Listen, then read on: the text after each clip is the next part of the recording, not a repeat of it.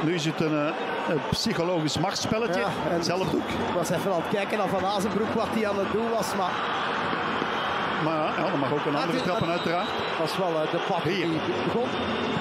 Ja, andere hoek. En dit keer met de schijnbeweging. Dat is dan even denken.